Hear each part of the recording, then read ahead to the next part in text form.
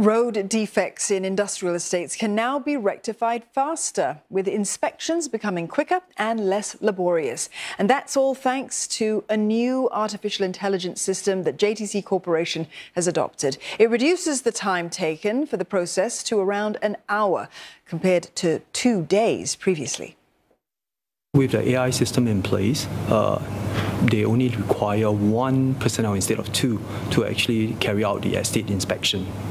This one personnel just need to drive the car around with a camera mounted in front and drive through the estates.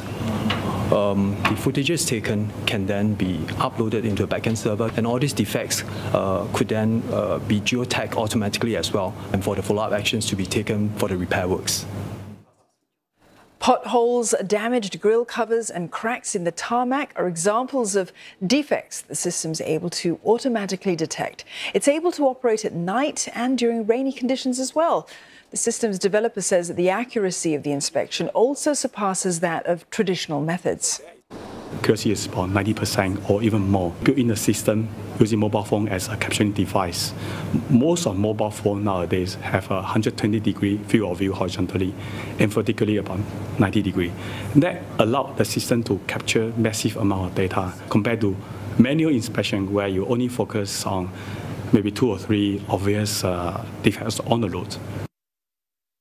JTC says roads will be safer with the new system in place since infrastructural issues can be addressed faster. The AI-led checks are already being conducted at One North, but JTC says that it plans to implement the solution at its other industrial estates as well.